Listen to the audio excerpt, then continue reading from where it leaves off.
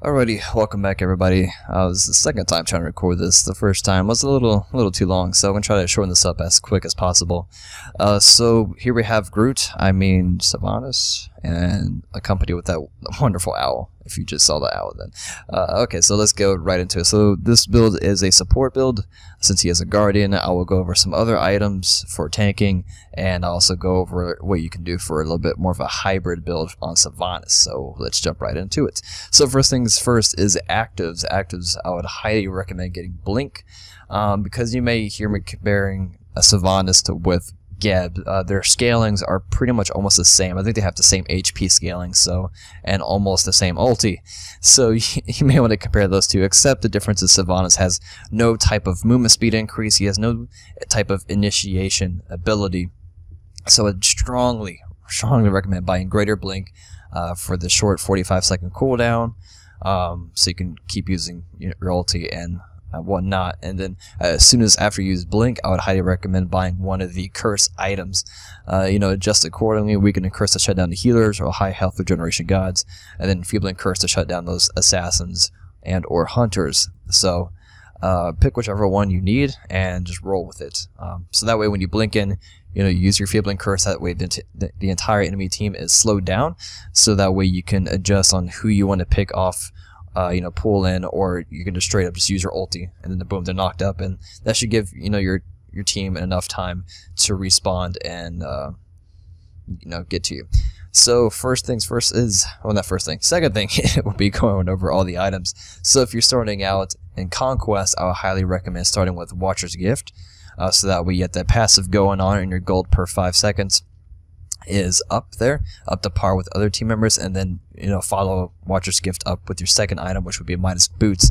Uh, if you check out any tournaments or anything like that, this is the meta to go for uh, for Guardians because as as a Guardian, you know, support, you're going to be behind on gold more so compared to all the other gods in the game, except the enemy supports. The supports they typically you know sit behind as far as level and gold. Uh, that's that's normal. So Midas Boots and Watcher's Gift will help you out in that department. So outside of Conquest, I would pick up cooldown reduction boots for sure, uh, because your your three has a really really high cooldown uh, at rank one, and without cooldown boots, your three is sitting at about a 30 second uh, cooldown, which is extremely long. So we want to get that short as possible. And also, as soon as you start leveling up your 3, obviously the cooldown gets lower and lower. And then with cooldown boots, it lowers it even more so that we can use your 3 to pull in more people. Uh, more often, especially if you're not that good and you miss uh, somewhat often. Next will be Sovereignty. It's the core tank item to have on all your you know, supports. Uh, main reason is the aura effect, so that when your team fights, you have bonus protections for your allies and everything like that. Uh, the next will be a magical defense item slot, and it kind of depends on who you're fighting against and what game mode. Uh, if you're in Assault, I would probably get of Gaia, obviously, make sure you're fighting against magical gods, or else this would not work. Uh, reason why I Stone of Gaia is because of the high HP 5 and MP 5, and also the passive, so that way you keep more sustain, and you can stay more often in the assault lane. And also, uh, you know, start doing more fights more often. You always be ready. Uh, if not, I'll probably go Bulwark of Hope. Main reason because the HP and high magic protection, the passive is alright. Uh, or if you're going against high health regeneration gods like Hercules, Chaac, Vamana, or healers, you know, then go the Pestilence route as soon as possible so you can shut down those healers. Um, so that is that. Now, you may be wondering why I have Gem of Isolation on here, but what I was looking at, yeah, it gives you HP and mana, so that's good. I mean, you get HP, be a little more tanky. But the passive, specifically, can't talk today. Uh, the passive, enemies hit by your damaging abilities will move 25% slower for 2 seconds. So as soon as you blink in, or whatever the case may be, and you use your 2, your Wisp, and it shoots out those Wisps, much like Z uh, Zhong ulti, it does damage over time and it keeps, you know, shooting at them. So that first damage tick, um, which is everybody within this radius here, uh, they would be hit with the Gem of Isolation passive, so they'd be moving 25% slower, uh, and it keeps refreshing because Wisp is a damage over time effect. So team fights that's really, really great. So it's like a free Enfeebling Curse or a Creeping Curse. Uh, so I would highly recommend that as well. Uh, next, if you want to up your heals, Rod Asclepius, I believe that's how you pronounce it. Uh, it's really great. You get increased movement speed because Sylvanus is really slow. Magic power, alright, we can go a little bit more hybrid. And the health, you know, we have the HP to make us a little bit more tanky. and the Ur effect, which is what increases our heals if you want to increase your heals. Now, if you don't really care for your heals, uh, you could probably switch that out for other items, like probably another physical defense item.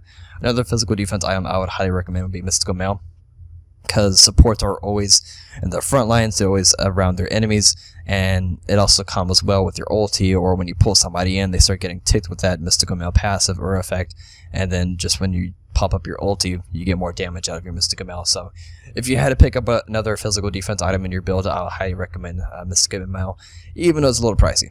Finally, uh, another magical defense item. Uh, I'll probably pick up Gaia. So if you want to go a little bit more hybrid, um, uh, first let's just look at our stats with this build. Our HP is sitting really high, 3,710, and our defense is is pretty pretty good. Uh, like I said, if you want a little bit more defense, I'll probably just switch out the, the healing rod and pick up another defense item. Another good physical defense item would be Breastplate of Valor, so that way you can use it three even more often. Uh, so those are you know those optional items you may want to pick up. Now, if you want to go a little bit more hybrid, I would drop the last item, uh, which would be a Stone of Gaia, and pick up the Ethereal Staff. So, with the Ethereal Staff, we sit at 4,210 HP and then 309 magical power. Uh, so that's gonna wrap it up there for the video. If you have any other questions, please let me know and I'll answer them as soon as possible. And I'll see you guys next time. Peace.